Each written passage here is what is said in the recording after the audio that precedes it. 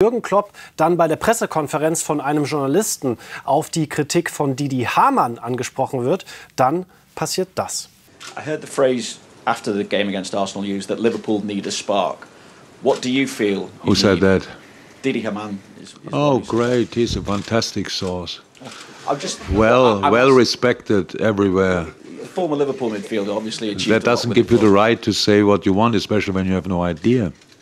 But I'm asking you, what do you feel that you need? I mean, where do you see a spark if it's a spark that you need? I actually think I actually think Didi Hamann doesn't deserve that you what's that now? That you what is that? To use his phrase to ask me a question.